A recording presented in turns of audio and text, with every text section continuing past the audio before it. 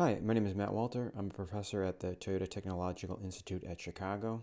So TTIC, or TTI Chicago, Toyota Technological Institute Chicago, it's a bit of a mouthful, is a philanthropically endowed graduate level computer science institute located on the south side of Chicago. So we're actually on the University of Chicago's campus. We were started about, you know, uh, going on 17 years ago, so we're very young, with an endowment about $250 million from uh, school by the same name in Nagoya, Japan, which was endowed by the Toyota Motor Corporation. We have 11 tenure track professors and 12 research assistant professors, which is this three-year, excellent three-year endowed position that allows people to do, you know, fundamental research, build up their, their CV, and many go on to successful faculty careers or careers in industry. As a computer science institute, we are very small, or sorry, we are very focused. Um, and in particular, we're focused on machine learning, machine learning theory, and applications of machine learning. So those include computer vision, robotics, speech, NLP, computational biology. In addition to those areas, we have a strong focus on computer science theory. So myself, I'm a roboticist, and I direct the robotic intelligence through perception or laboratory or RIPL.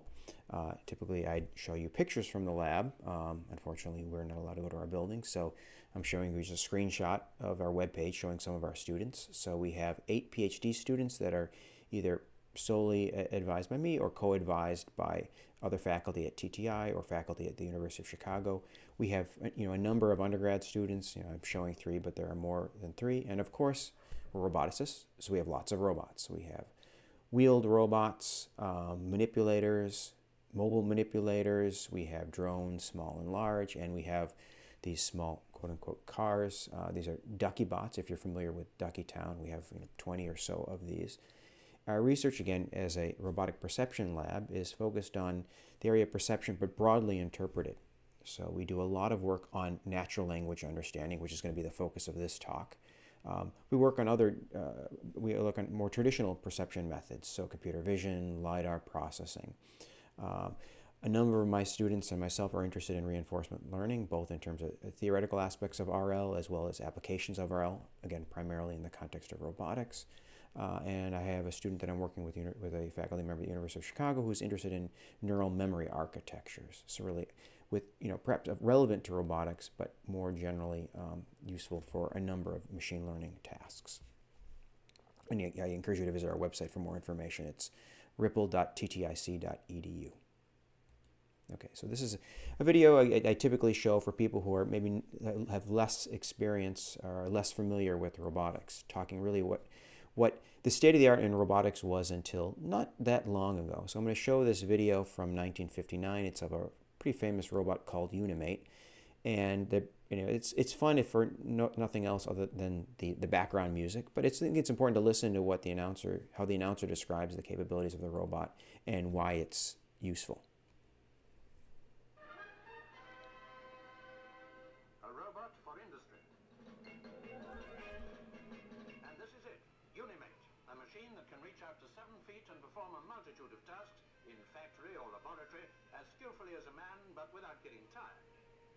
Controlled by a built-in memory system. You just lead it once through the required motions, and it can then repeat them 24 hours a day, week after week. So I'll just pause that. So first, you know, it can perform these tasks over and over again without getting tired. It can be easily programmed by stepping it through the process that's known and still employed today as uh, kinesthetic teaching, where you grab the arm and you'll teach it through the procedure. And you can do this over and over again very accurately.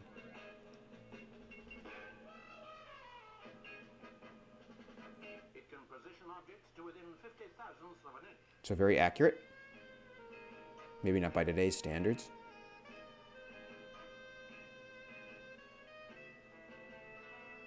Completely unaffected by heat, cold, fumes, or dust, it could take over a lot of unpleasant jobs.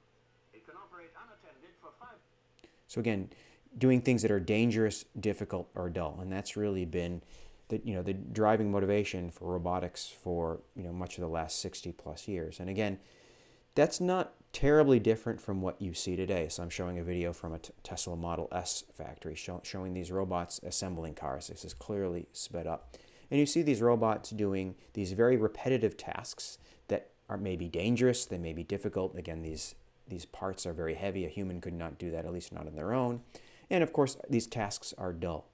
And so here, really what's been driving, again, research and, or work and, and applications of robotics over the last 50 years is doing these tasks that are repetitive, dull, or dangerous, and that require high levels of accuracy. So the focus has been on achieving this level of accuracy and repeatability. So we can, you know, again, assemble cars with, you know, this the precision that's necessary to say build a Tesla Model S. And again, this is clearly what's used today.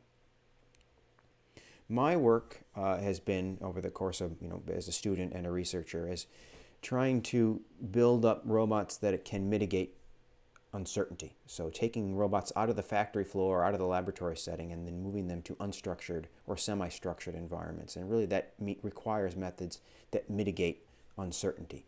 So again, this is doing tasks that are, again, dangerous, difficult, or dull, but in environments that we don't have the luxury of pre preparing a priori. And so this is, these are robots that are really operating our, as our surrogates, going places that you know we, we, we not physically be able to go or may be too dangerous.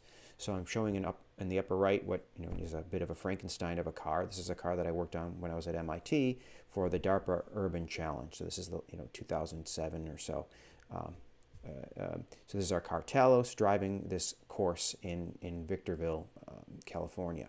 Um, in the bottom, I'm showing a 3D rendering of the RMS Titanic that was built with this ROV, remotely operated vehicle, Hercules, using cameras acquired from the vehicle. So this is, again, a vehicle that's operating, in this case, tethered from a ship. Again, operating really as our surrogate. And this is an environment where clearly GPS does not work. And yet, if we're going to build up a map of the Titanic, we need accurate positioning of the vehicle. So how do we mitigate that uncertainty? And that's um, was the focus of this work, and there's some references to the papers, and they're all on the website if you're curious. We see this in a number of other applications. So disaster response, we've done a lot of work in military logistics, and you'll see some references to that during the talk. Um, what I'm particularly interested in is not just robots that can operate as our surrogates in unstructured environments, but really robots that can operate as our partners with and alongside people who are not roboticists as they carry out daily tasks, whether this is in in, in uh, manufacturing or logistics, as we see in the, in, the, in the upper left. So this is a Baxter robot. We have a Baxter in our lab. Uh, many of you may be familiar with that. Here's that robot that I alluded to before that we use for logistic operations. So this is a robotic forklift that we built as part of the Agile Robotics for Logistics project.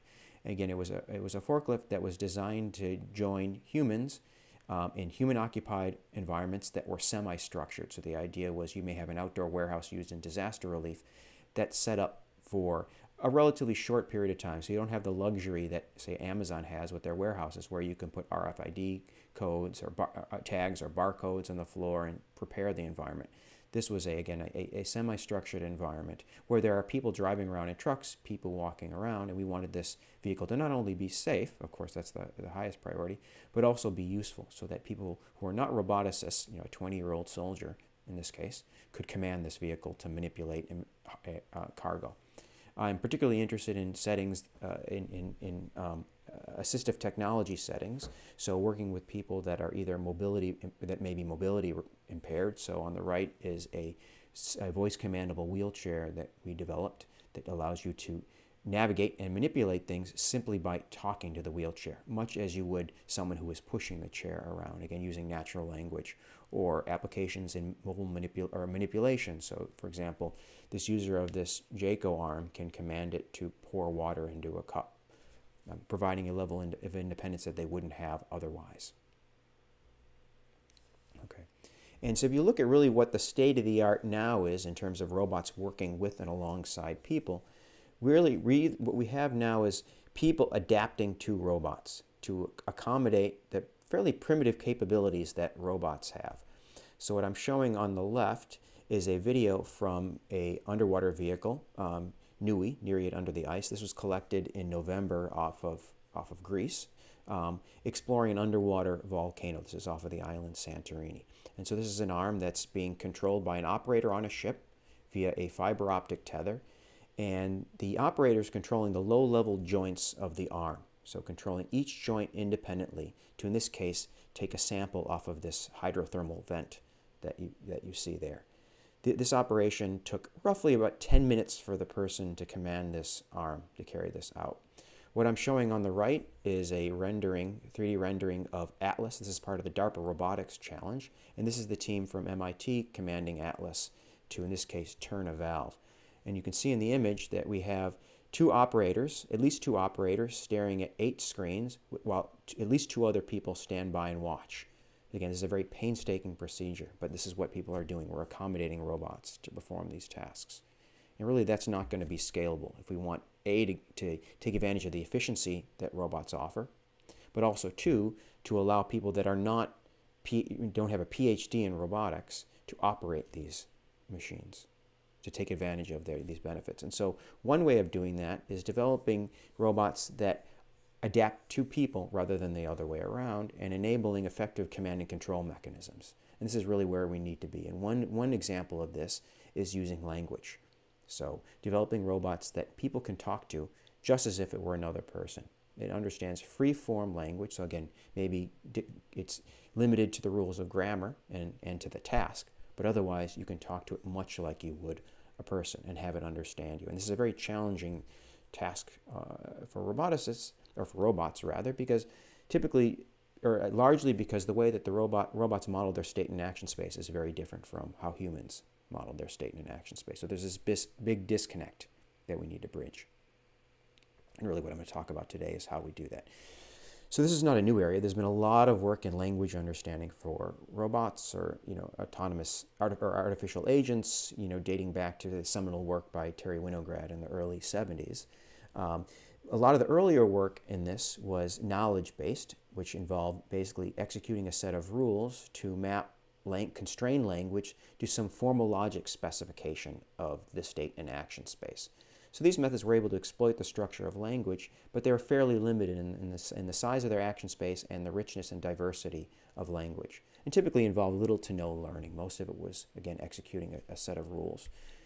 With, with you know, the advent of statistical methods, there is a lot of work in what's referred to as statistical symbol grounding or statistical grounded language acquisition. And there are generally two approaches to this. So one formulates language understanding as a semantic parsing problem, where the task is to parse language into some formal action specification. And there's, again, a lot of work uh, in this area done by Cynthia Matuszek and others. Uh, another approach is treating this as a, as a language grounding problem. Again, getting back to this notion of language understanding as a symbol grounding problem, where you want to map language, free-form language, to physical reference in the world. So these are objects, places, paths, and events, and then the robot's action space. And the, the key advantage of these methods is that they make, you know, they baked in is, you know, learning plays a fundamental role. It's a first-class citizen. So we can learn these parsers or we can learn these, these grounding models that allows these methods to generalize to a diverse set of, of linguistic instructions. And what I'm showing in the upper right is a factor graph representation. You'll see versions of this throughout the talk where we're now grounding language on the, on the bottom. So these are the, the, the instruction, put the tire pallet on the truck, to the set of objects and that the robot is aware of, the, the set of actions that the, are in the age in the robot's repertoire. And we're modeling this probabilistically, which has a number of advantages that will hopefully become clear. Okay, so what does it mean? How do we treat language understanding as a probabilistic inference task? And so what we do is we, we formulate a model, and we're going to perform inference over this model, and I'll describe what we're seeing here. So of course, we have the input, the command. Typically, that's a string of words, so we have text coming in. It may, may be speech, and we apply a speech recognizer. And we want to then learn a, maintain a distribution over the, the corresponding, the objects that correspond to this command, any action or any locations that the user may be referencing, any spatial relations, and any actions in, their, in the robot's repertoire. And typically we'll formulate this as, as a, um, a map inference, a maximum a posteriori inference, where we want to infer the set of objects, relations, actions, and locations that maximize this distribution. And key on the right hand side is that we assume, most of these methods assume that the world model is known. So I have some representation of the robot's model of its state and action space. This could be, and we'll see examples of this, a map, an environment map. So we have a map of the environment with locations that are labeled uh, not only by their metric position, but also their type and many their colloquial name, Matt's office, etc., that we can then ground to. So we assume that the world is known. And the key again with these methods is that we learn this distribution, the probability over symbols given world model and language, and do this in an efficient manner. Okay, so what's an example of a known world model? Um, so again, I would say most state-of-the-art methods now assume that this world model is known and they largely ignore perception. So they assume that the robot is given a database of all the possible locations that the user may refer to, all the possible actions that the robot can perform, also all the possible objects in the environment, etc. And so if you think of a spatial navigation task, say for a robotic wheelchair that someone would like to be able to command to navigate, this might look like a map. And this is a bit, might be a little bit difficult to, to read here, but this is a bird's eye view of a multi-building part of campus where these pie charts are indicating the semantic type of different location.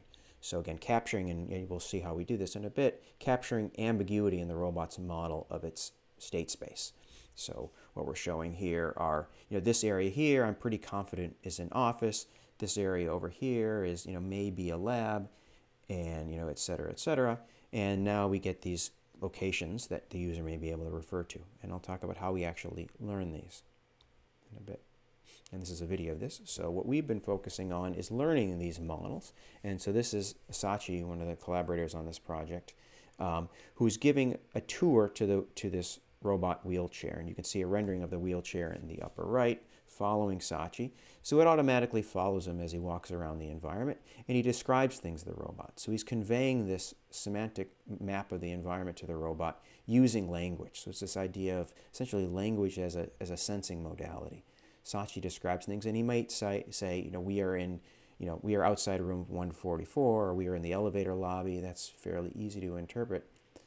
But the great thing about language is not only can you assign semantic and metric and topologic information to your current location, but you can refer to things that are outside the robot's field of view at various scales. And things that the robot may be it may be difficult for the robot to perceive even if it was in the in the field of view. So say colloquial names we can easily convey via language. So it's very expressive um, you know, things we can't do with traditional sensing modalities.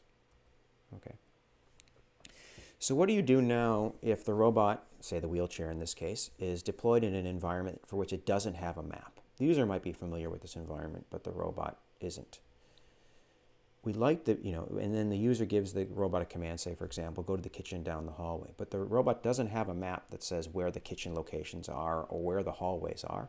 All the robot has is a camera, one or more cameras, and it would like, we'd like it to be able to interpret this command in the context of what it sees and decide what the correct or what, what the best action to take is. You know, perhaps to explore the environment, to try to find the hallway, um, and then, you know, to carry out this task.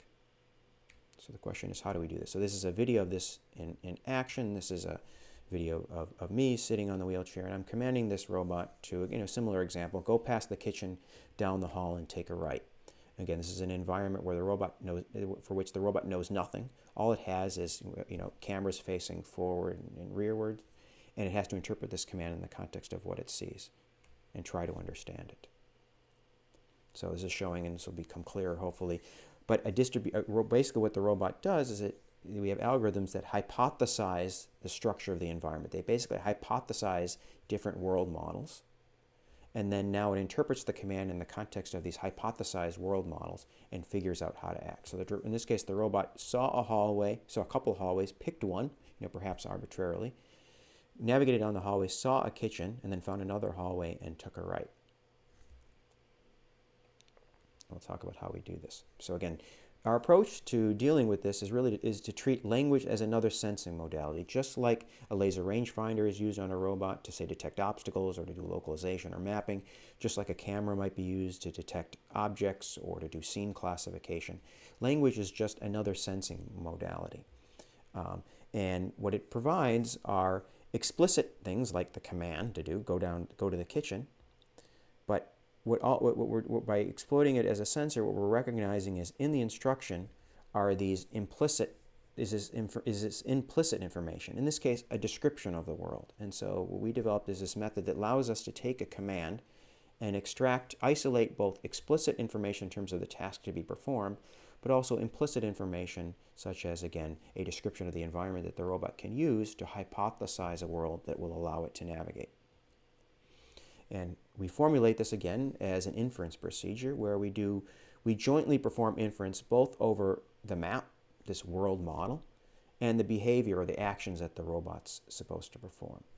So with a slight change in notation, we're going to perform inference where we have x1, t plus 1 through capital T is the future robot's trajectory up to some horizon. And then what we have as input, of course, is language. So again, this might be, language might be given as the robot navigates. So hence this superscript T means the instructions that we've heard up to that point in time T. We have the robot's traditional sensor stream. This might be camera images and maybe laser, laser scans. And then we have odometry, so say from wheel encoders and IMU. And our idea is, our goal is to infer the robot's trajectory that, maxim, that, it, that maximizes this likelihood, given the instruction that the robot's had, uh, what it's observed up to that current point in time, and then you know its, its motion.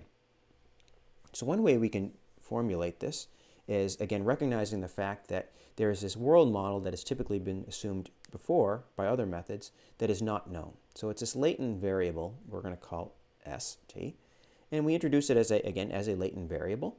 And so on the left we have the, the standard model that we saw before, again before we had gamma over here, but again inference over the set of symbols given language given the sensor stream up to that point in time, and then given the current model of the environment. Again, that's not known, so we also maintain a distribution over that world, given the sequence of instructions, and then the sequence of observations up to that point in time.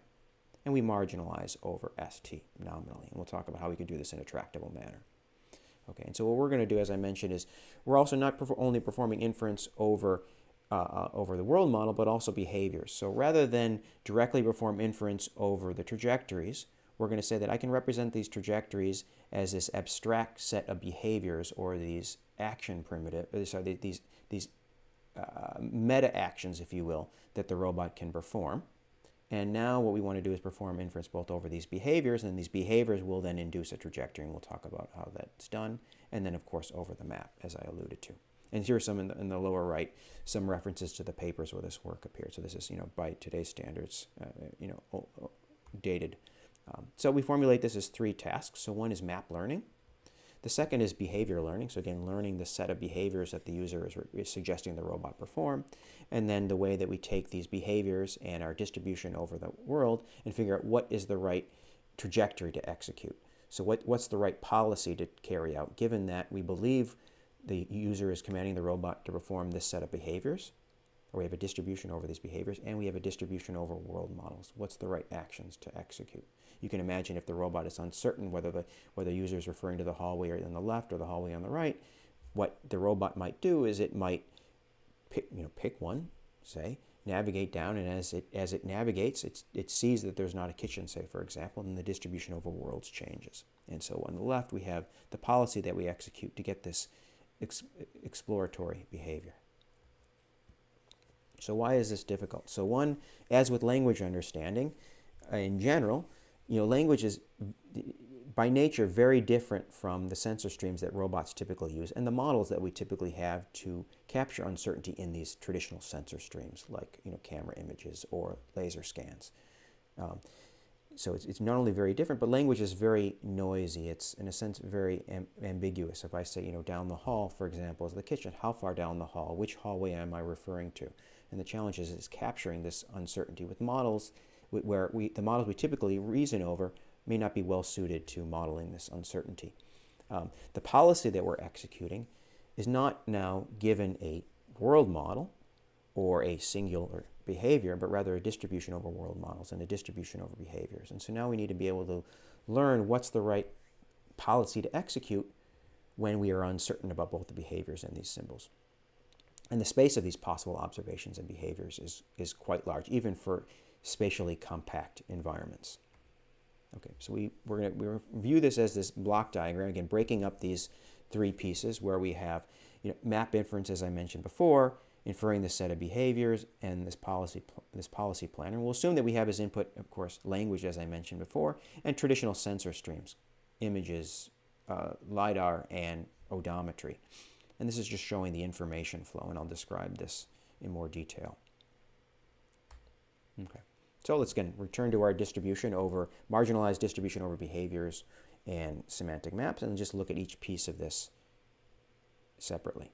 Okay, so we have the first is map, uh, is taking uh, language and using it and other sensors data to infer a distribution over worlds. And so when we do this, what we're going to we're going to assume is that we get, we're given a natural language instruction. As I said, in that instruction is implicit information of the environment. We're going to call that implicit information annotations. And so what we're going to do is we're effect effectively going to ground natural language into a set of annotations, so these, this implicit information about the world. And then so we're going to formulate map inference as inferring the, the semantic map. Again, this might be like that pie chart that I showed before given this set of annotations, this implicit information in the command, and then the robot's traditional sensor data. Okay, so these annotations might be, say, for example, that there exists a region of type hallway in the environment, there exists at least one or at least one kitchen, and there is one pair of kitchen and hallway such that the that they exhibit this relationship where the hallway kitchen is down the hallway. So a set of relations. Again, it's just a simple example.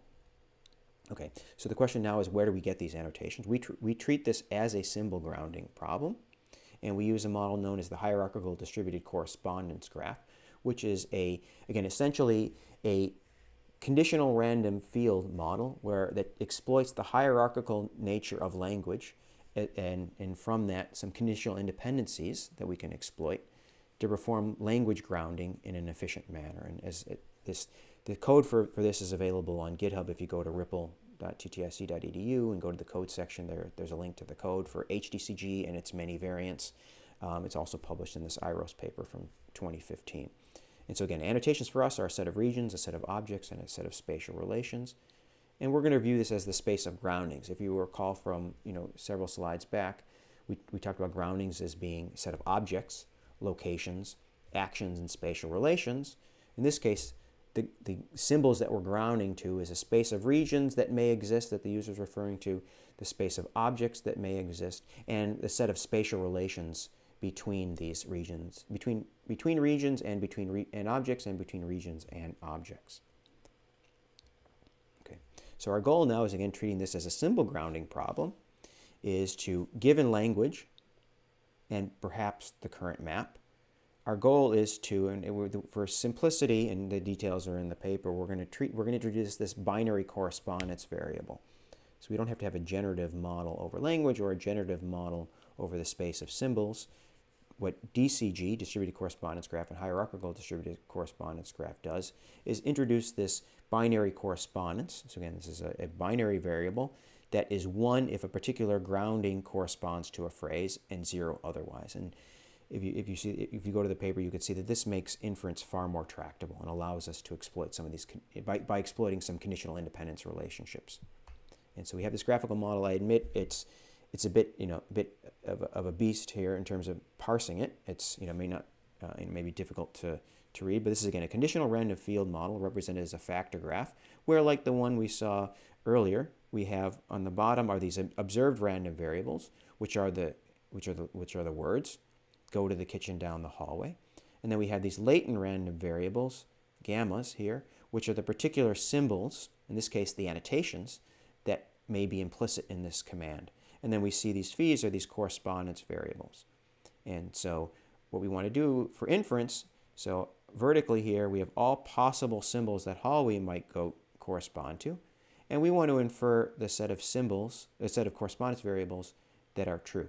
And then that will give us, if if a particular phi is true, that means that hallway refers to this particular symbol, which might be, again, there exists a region of type corridor, say, for example. And I'll gloss over the details, but basically the hierarchical distributed correspondence graph allows us to uh, uh, essentially condense, reduce the space of symbols that we're performing inference over in a, you know, somewhat intel intelligent manner to, again, further improve inference. And the, the details are all in, in the IROS paper. Okay, so what that gives us, again, we perform inference over this and we, we get a distribution over symbols saying that implicit in this, in this command is the ind indication that in this environment there is at least one region of type hallway, at least one region of type kitchen, and for one or more of those kitchen and hallways, they exhibit the spatial relationship where the kitchen is down the hallway.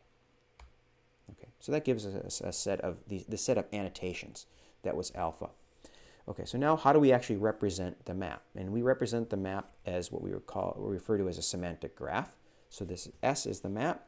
It's this tuple where we have underlying this tuple is a topology. If you're familiar with SLAM, simultaneous localization and mapping, you may be familiar with pose graph formulations to SLAM. This is very much like a pose graph formulation, but we have some topological structure of the representation of the environment where a node corresponds to, say, regions, locations, or objects, and the existence of an edge between two different regions or objects indicates some constraint, some spatial constraint between those two regions. Again, perhaps that the kitchen is, one might be a kitchen, one might be a hallway, and it might, this might capture the fact that the kitchen is down from the hallway.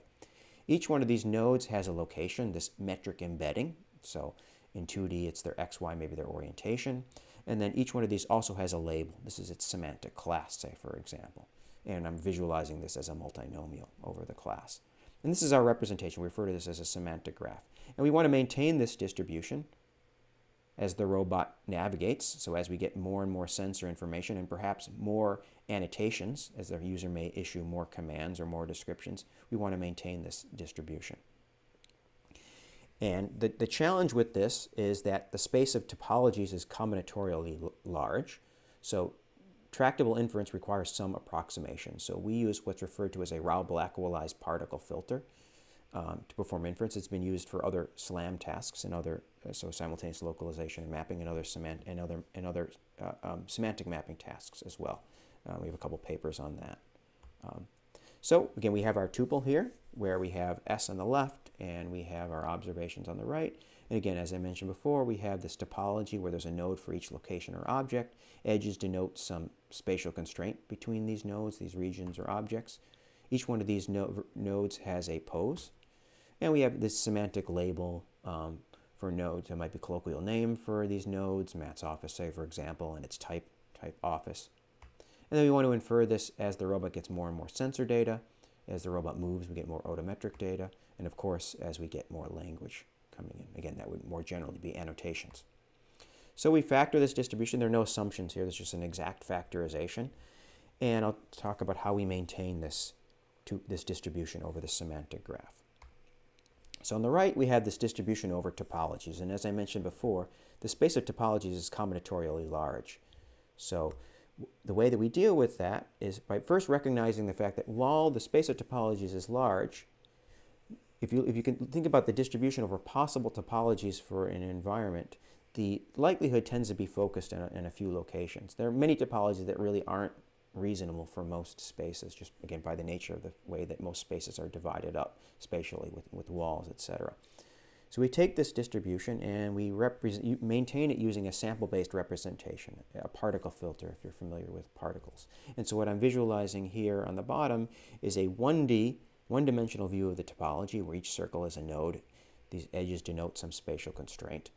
And what the vertical bars here are some likelihood. So I'm, what I'm representing is basically, you can think of this basically as a set of n hypotheses over the topology of the environment. And then each one, each, each hypothesis is associated with some weight, how likely that hypothesis is. And we're going to maintain this sample-based representation. Each of these sample-based representations, if we model the edges, again, edges are spatial constraints, and these are going to be inherently uncertain. So if we model these spatial constraints as being Gaussian distributed, what this allows us to do is this allows us to represent this using, again, the joint distribution. So each topology, each hypothesized topology, now shown in, in, in a 2D version here, corresponds to hypothesized edges between nodes. And associated with these edges are, um, again, these Gaussian distributions. And so we, you can show that you can, and this actually gets back to some of my thesis work from way back when now.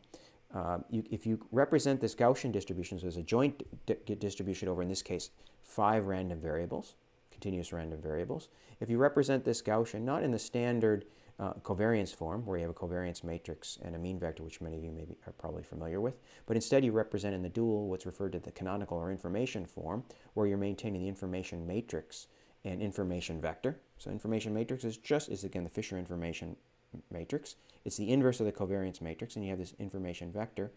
What that allows us to do is now look at the information matrix, and the information matrix, unlike the covariance matrix, is, in this case, is sparse. Uh, it may not look like it from this picture, but if you look at most actual uh, uh distributions over topologies, over, over graphs, it's, it's sparse. And because it's sparse, we, that, by virtue of the sparsity, we can perform inference in a tractable manner. We can be smart about how we perform. We, can perform inference by exploiting the sparsity. And again, you can see the papers as well as my, my thesis if you you know, can't fall asleep and you want something to read. And lastly, we have this distribution over labels. Again, the semantic class for each one of these nodes in the environment. And we model this as a Dirichlet distribution. Okay, so we'll see some examples of what this distribution looks like. So what I'm showing here is a 3D rendering of our wheelchair executing that same command that was shown in the video a little while ago, namely navigate down the hallway, past the kitchen, and take a right. And so what we're visualizing here is the distribution over semantic maps, or distribution over the world models, where we're visualizing a subset of the particles, each hypothesizing a distri different distribution over the world. Again, these are maintained via this Rao-Blackwellized particle filter. And at this point in time, you know, basically essentially in the beginning, the agent, the, the vehicle, the, the robot, has seen part of the environment that's indicative of being a lab. So all the particles essentially agree that this area is a lab. Again, um, there's some uncertainty associated with it, but again, its class believes that this area is the lab. Um, and what we're showing here again is the spatial extent here of where we think the lab setting is. Now, each of the different particles is hypothesizing a different location for the hallway. The hallway has yet to be seen, so different particles hypothesize different locations for the hallway, typically in front of the vehicle. And then they also hypothesize, again, relative to that, some locations for the kitchen, namely that it's consistent with being down the hallway. So some particles hypothesize that the hallway is over here and then that the kitchen is over here, down from these hallways. Others hypothesize that the hallway is in, is in front of the wheelchair and then the kitchen is then down from that at various scales, you can see here.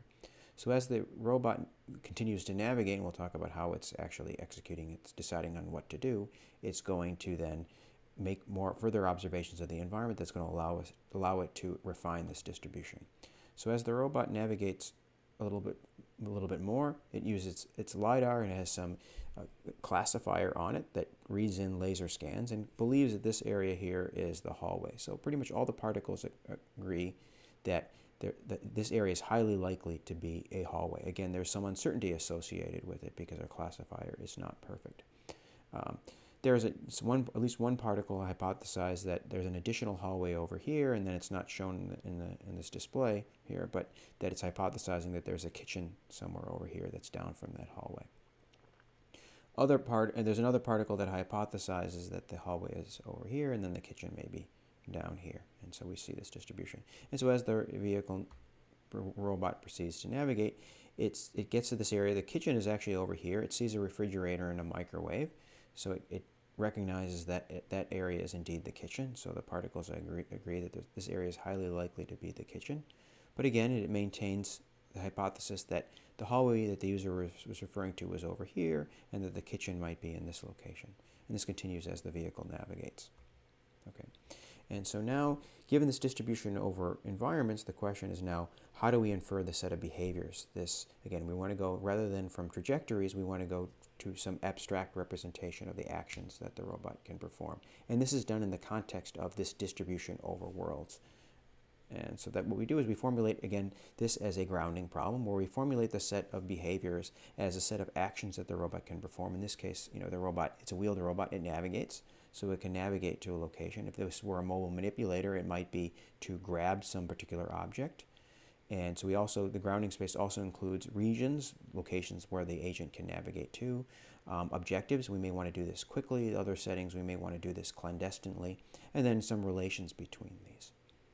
Again, as in the context of inferring uh, annotations, we formulate this as a grounding problem. We use the hierarchical distributed correspondence graph. This is a factor graph representation where the observed random variables are on, are on the bottom, these are the words in the instruction.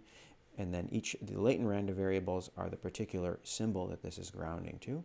And we formulate this again as an inference task to represent, to recognize the set of behaviors. So given that, now we have a distribution over worlds. We've described how we come up with that. And then we have this distribution over policies. There, there is actually a behavior that's not being shown here, distribution over latent behaviors.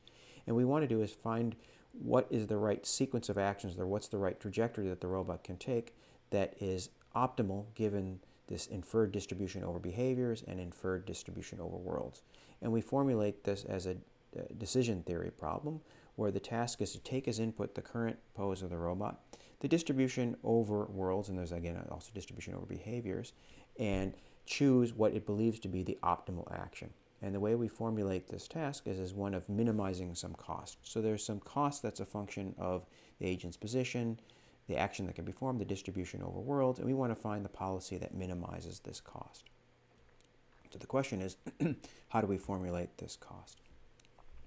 So we, we take, eh, we, we have, what in this case, what is a, a set of hand-engineered features um, that try to capture the relevance of certain aspects of certain trajectories. Um, so the path that the robot might take, um, relationships between the path and the geometry of the environment. So namely, if you're going down the hallway, you may want to go along the long section of the hallway. So reasoning over things like geometry of the path, geometry of landmarks, and their relative geometry. Now, of course, these features are not known because we don't have knowledge of the environment. We don't know the exact landmark geometry or where the landmarks are.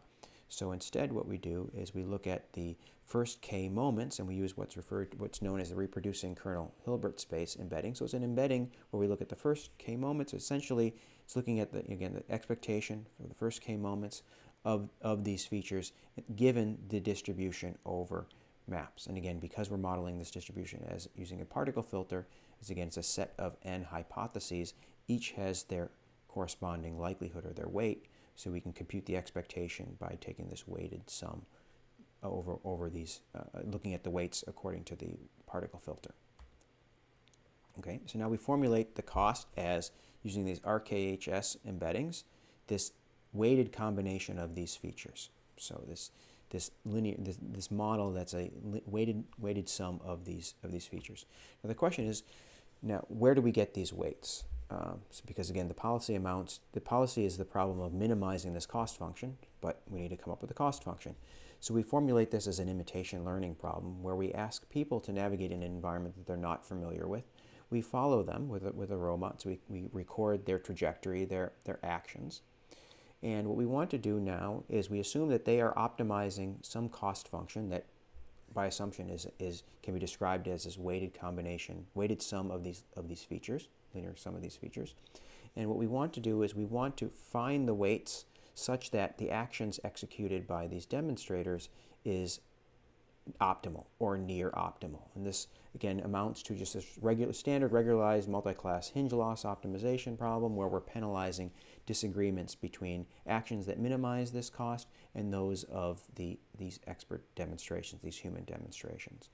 And then the actual loss that we, that we optimize over again is this multi-class hinge loss with some regularization penalty on, on the weights for these features.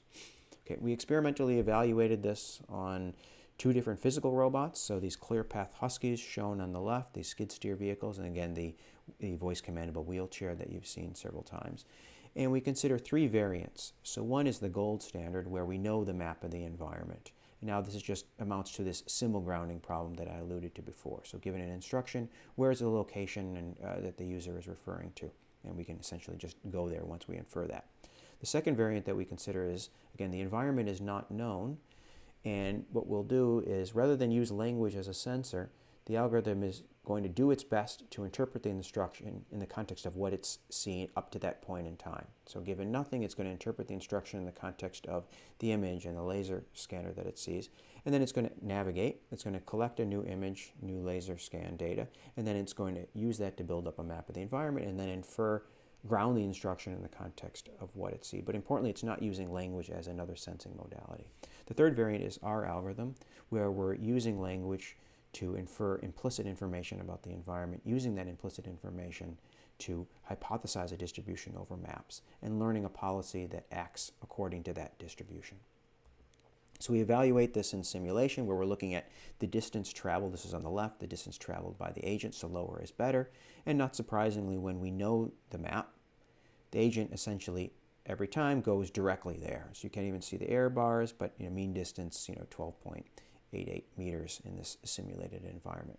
On the other extreme, when we're not using language as a sensor and we're relying just upon interpreting the instruction in the context of what the agent sees and essentially happening to stumble upon the destination, we find that the agent travels about twice as far as it does when the map is known.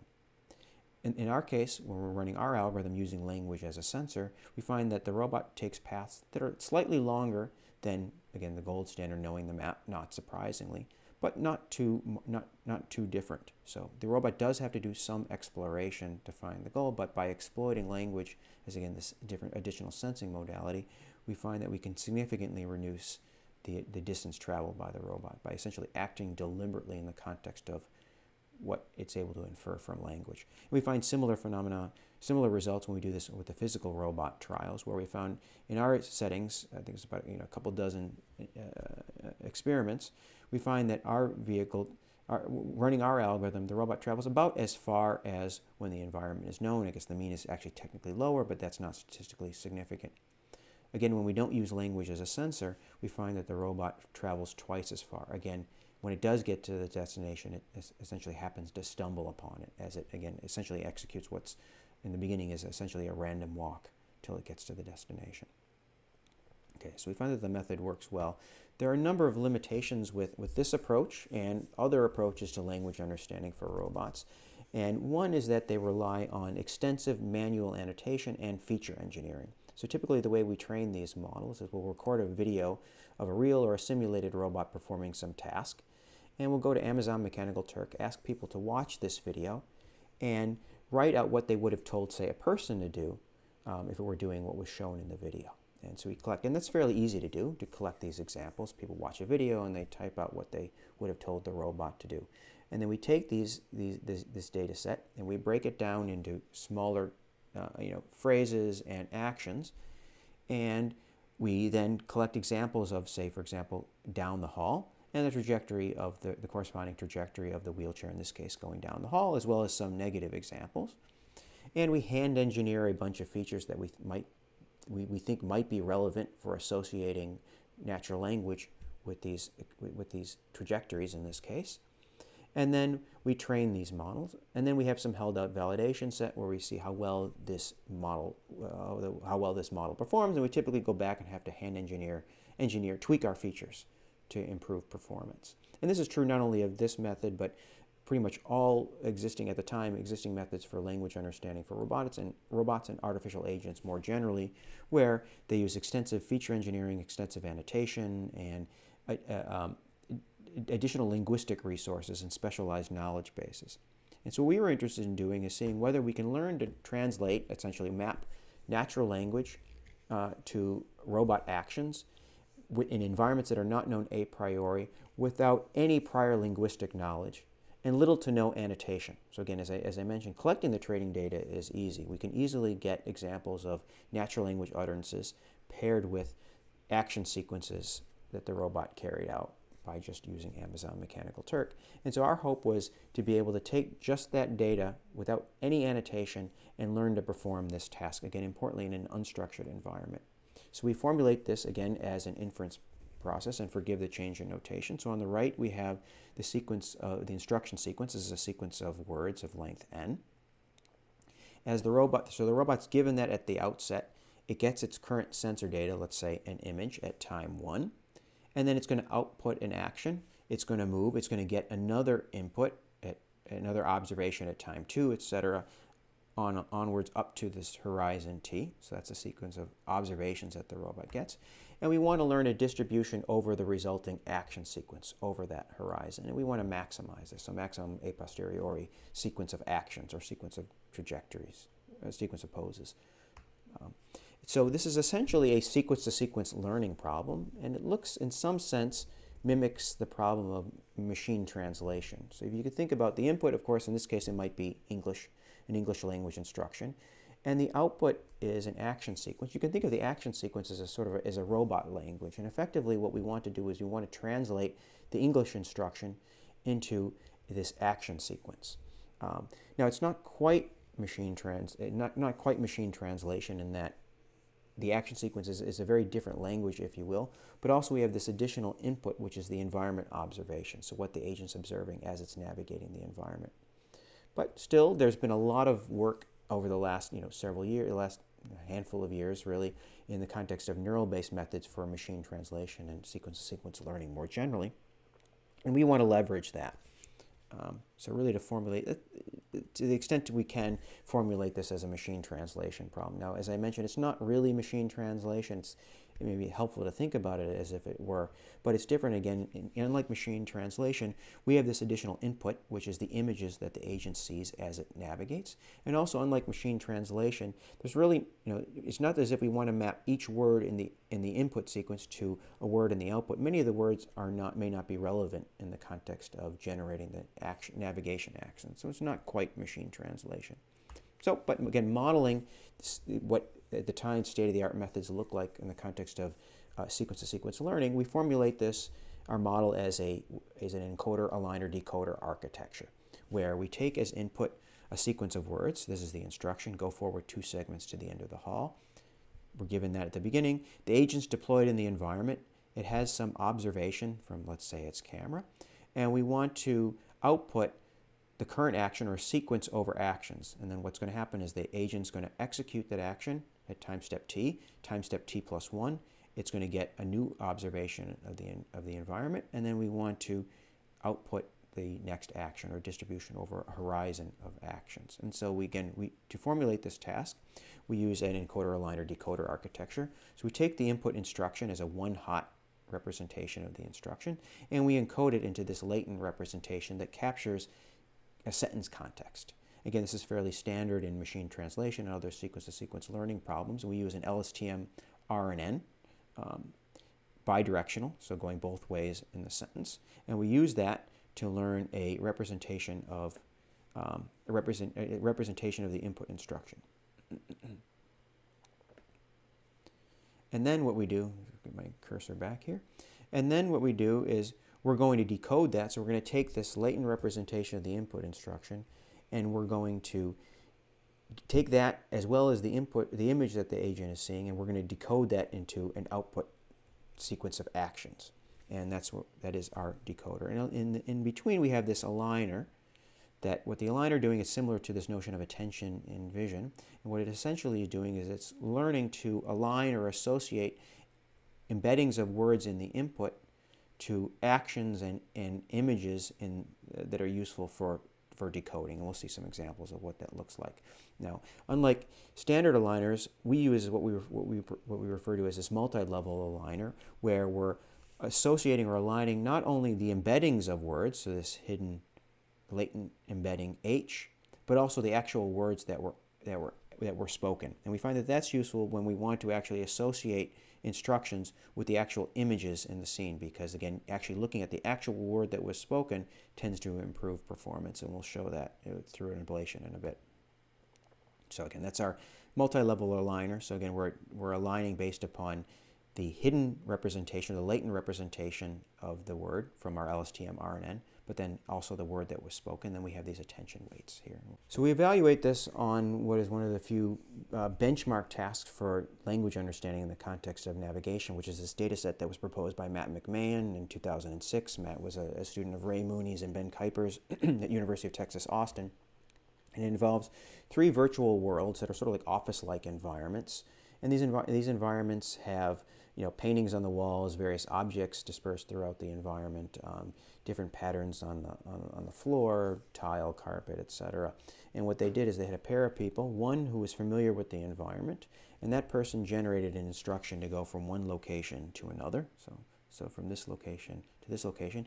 They gave, then they took another, the second person, immersed them in this 3D simulator and had them follow this instruction. And they recorded what they saw and then and, and their actions as well.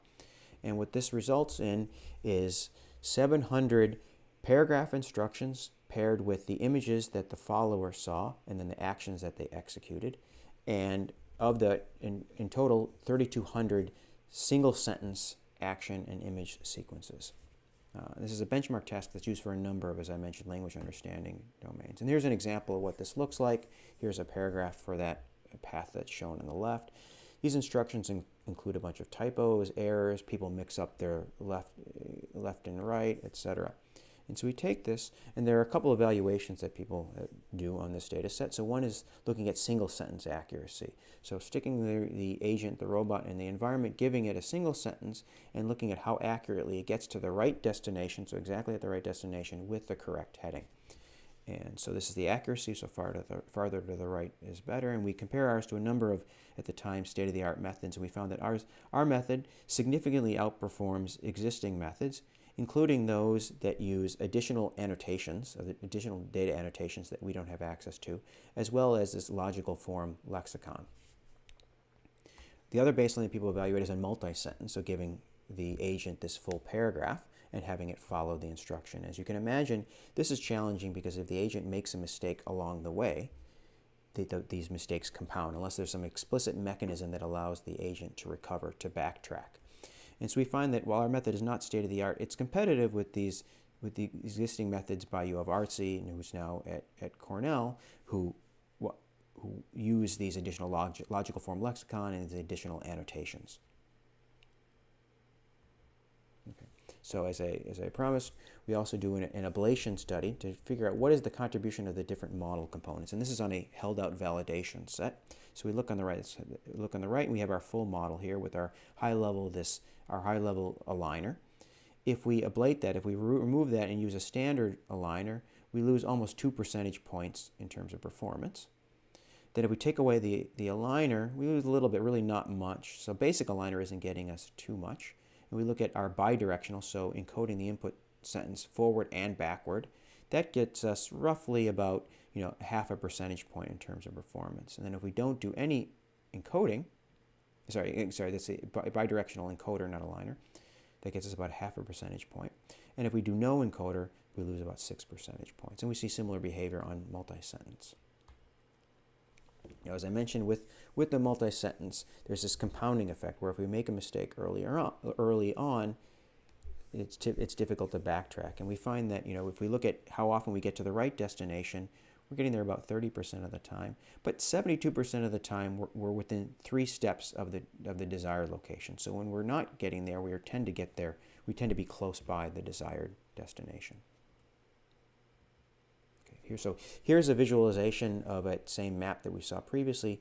And what I'm going to show you here, again, so the agent starts at this location B here. It's given this instruction and then it navigates. This is the ground truth of where the follower, the path that the follower took, and it's actually the same path that our agent learned to take. And what we're going to look at is we're going to look at the attention that, these, that the network is learning automatically. So I'm just going to highlight some of these. So the agent starts at this location here, and it's given the instruction, go forward one segment to the intersection with the wood-floored hall. So this is the instruction here that's fed as input. And then this is the actions that the agent decides to execute here. Again, it's a distribution over action. So this is action at time t, and this is action at time t plus 1. And what we're visualizing here are the attention weights. And again, importantly, it, it has the word go really is a one-hot embedding, so it's just this vector with one where the word go goes to. It doesn't really know that this action here is go. It's action number five, say for example, and this is action number zero is stop.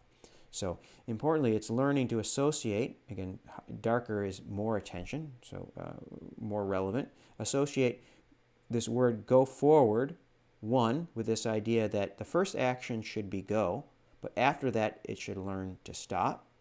And if you look here, there this hallway here is wood floored.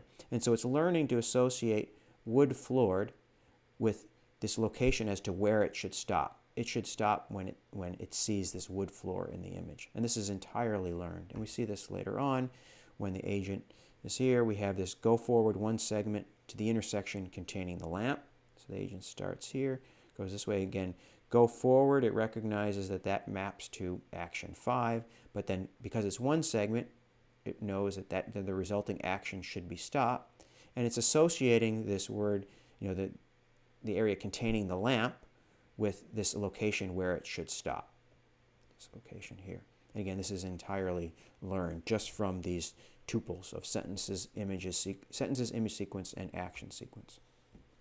Okay, so we've talked about, again, the high-level motivation is enabling robots to operate effectively as our partners. And, uh, you know, I've, I've, presented two different methods, one more traditional um, conditional random field-based model, and then a more recent neural model for doing language understanding.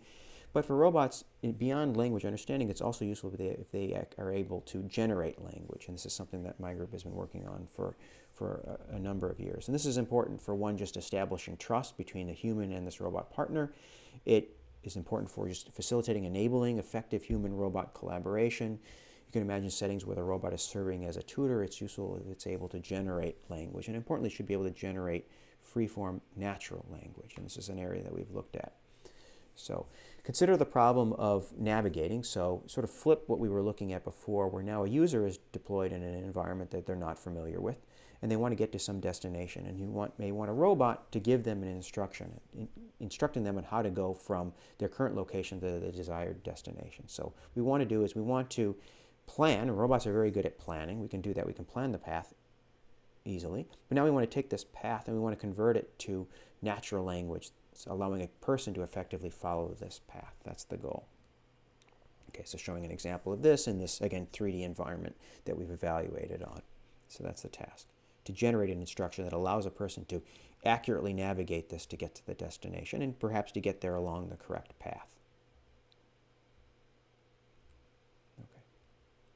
So we model this as what's referred to as a selective generation problem. So uh, briefly, uh, if you imagine a path through an environment, whether it's an, you know, an office-like environment or, say, navigating the street to get to some destination, typically, again, if you use you know, Google Maps or Waze or what have you, typically if they give you an instruction, they're typically telling you to go a certain distance and to turn at a certain intersection.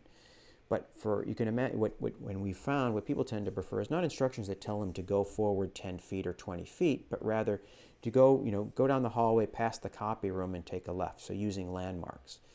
Um, so you could think about this as if the robot, the robot has a map of the environment, has a path that it wants the user to follow. There are a number of different ways the robot could describe this, the agent could describe this path. It could, could when necessary, choose metric to use distance. Other times it could refer to reference landmarks, doors, water, drinking fountains, copy rooms, etc. And so there are a number of different ways that the agent could describe the path, a number of different things that it could talk about. And once it's decided what to talk about, there's this problem of taking that and generating a natural language instruction. So we formulate this, as I was mentioning, as this problem we refer to as selective generation, where there are two problems. There's one is content selection, which is figuring out what to talk about, what should I reference? Should it be distances or landmarks? And then surface realization. Now that I've figured out, now that the agent's figured out what it wants to talk about, how do I do that in natural language? And that's how we're formulating this. So again, we have some input. This is a cartoon, of course. That's a map. Again, using continuing with this the, the bird's eye view of this office-like environment where we have landmarks, paintings, etc. And we want to figure out, we have some path, and we want to figure out what should I talk about. And that's what we're deciding here. So for this path segment, should I talk about this hat rack or should I talk about, you know, stopping at the intersection with the, with the green carpet, etc. Or one go forward 10 feet, etc. And I may say, I may say go forward once in this case. I may want to say face the easel and move to the lamp. So I want to convert this representation of the path and what I want to talk about to free form language. And ideally, you want to learn this from data. So from examples of how people would describe paths to the environment and their preferences. So in certain settings, they may prefer distances. In other settings, they may prefer landmarks, and we like to be able to learn that. So just briefly, that's the way we formulate this. Again, we formulated this as an inverse reinforcement learning problem where we formulate content selection, i.e. figuring out what to talk about as an example, uh, uh, as a problem of getting a bunch of demonstrations where people issue commands and we learn some cost or reward function that captures human preferences. And we then use that to decide what to talk about. And then we have a sequence to sequence model, much like the one we talked about previously, where it's almost flipped now, where we're going from paths and objects and locations and distances and using and taking that sequence and converting that to natural language.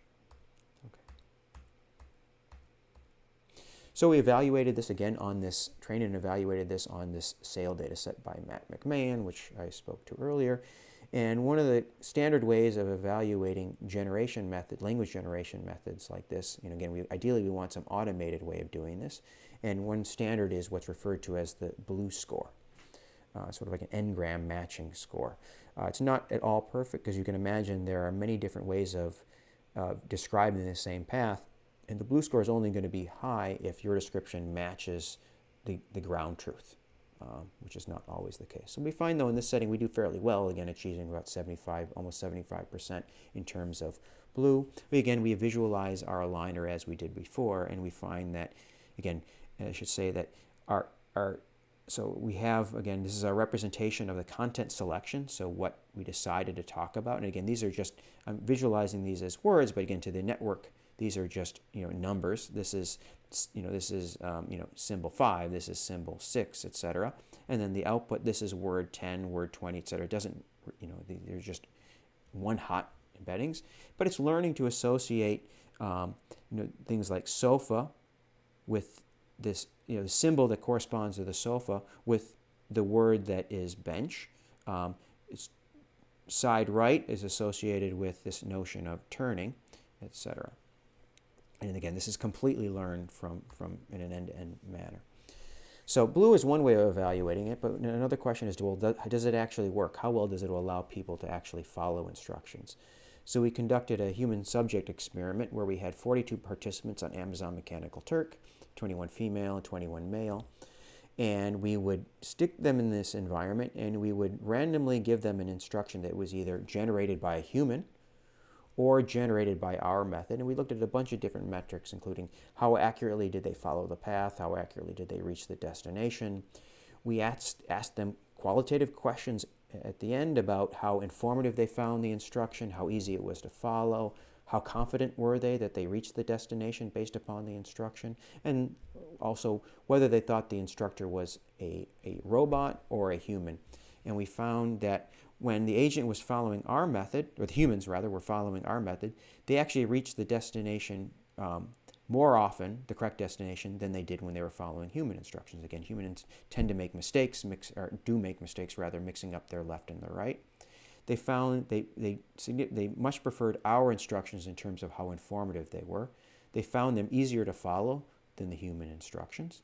They were more confident that they got to the destination when they were following our instructions than compared to those generated by humans, but they were able to recognize that ours were generated by a robot rather than a human. So they were correctly able to distinguish this. And we think that this is looking at it is because our synthesizer made some grammatical errors, and we think that people were cueing off of this and able to identify that it was a, an artificial agent. So just to conclude, again, so this is a you know summary of some of the work that has been done in my group over the last several years, focusing on natural language understanding in unknown environments. Really, the key to this work, at least the first half of it, is this idea, and we do this in much of the other work we do, is this idea of using language as another sensing modality. Um, exploiting advantages that language provides that are not available in traditional sensing uh, sensor modalities like like vision and like lidar. And we describe this way of we can formulate and learn from demonstration this beliefs-based policy that learns to follow natural language instructions in an unknown environment by one exploiting language to learn a distribution over environments and exploiting that distribution. And I've talked about a neural architecture that allows us to get away from significant challenges of annotating data and this need to hand engineer features and allows us to learn to, again, using the analogy, translate natural language to actions that a robot can carry out, and how essentially we can flip this model in the other direction and use it to generate natural language instructions that we've demonstrated in the context of navigation that yield performance comparable to those uh, human-generated instructions. Um, so again, this is joint work with a number of people at TTI and elsewhere. So much of this work has been done with uh, a colleague of mine, Tom Howard. We were at MIT together, and he's Tom's at University of Rochester. Uh, Felix was a, is a collaborator. He was at Carnegie Mellon University. He's at EPF now. I think he's actually at a startup. Sachi, who you saw in several of the videos and images, he was a PhD student. Now he's at um, uh, Google. Um, the work on the neural language based method was done with a research faculty member at TTI, uh, Mohit Bansal, who's now assistant professor at UNC, a student of mine, Andrea Daniele, PhD student and a former student of mine at, at and Mohit's at, at U Chicago and TTI, who is now a PhD student at Johns Hopkins. So links to the papers are available on our lab website, ripl.ttic.edu. Uh, there's my website. Um, if you have any questions, please feel free to send me an email. Take care.